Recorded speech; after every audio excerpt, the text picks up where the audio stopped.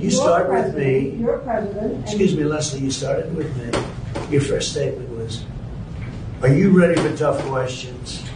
I do. That's no way to talk. No way to talk.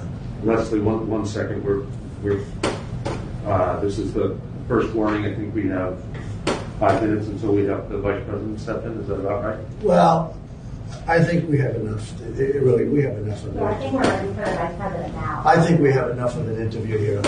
Okay, that's enough. Let's go.